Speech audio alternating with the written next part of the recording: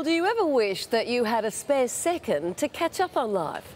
This Sunday, that wish has been granted. You see, scientists will hold back time this weekend, and Eddie Meyer is here to explain why. In this modern, fast paced world, it seems every second counts. So, on Sunday morning at 10am Eastern Standard Time, you'll get an extra one, second that is. To better match highly accurate atomic clocks to the inaccurate rotation of the Earth, official timekeepers at the National Measurement Institute will stop those clocks for a whole second. The Earth wobbles around a lot, and in fact, it's slowing down because of the gravitational pull of the Moon on the Earth.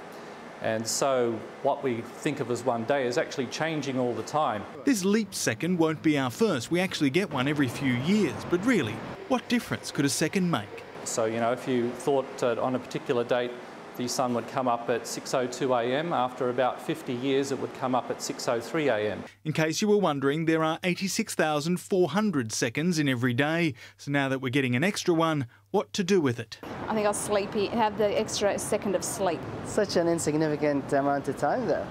Well, if you say give me a month, I'd go to Bali. As far as time goes for most of us, near enough is good enough.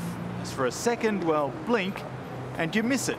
There are applications where it means a great deal when you say synchronising global computer networks where they measure time in millionths of a second.